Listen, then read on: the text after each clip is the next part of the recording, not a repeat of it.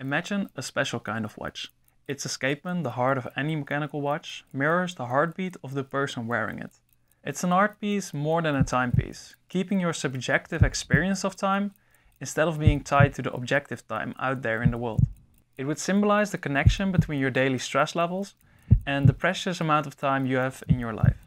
As your heart rate slows down, so would the escapement of the watch.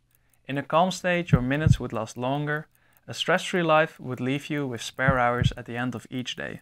On the other hand, heightened stress causes the flywheel to speed up. The second hand would run faster, ticking away through the hours until you realize your day is over before midnight. A few weeks ago, I bought a mechanical watch. One late night, as I was laying in bed, I came up with this weird idea.